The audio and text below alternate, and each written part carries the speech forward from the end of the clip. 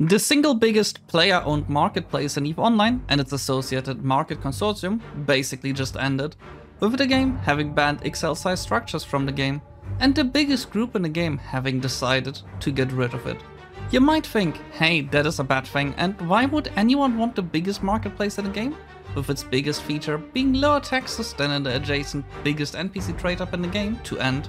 Well, strap in as we explore why it turns out that a huge market consortium is very much not the good guy in the game, and its demise very much not a loss, but pretty much a chance for maybe a freer economy to thrive.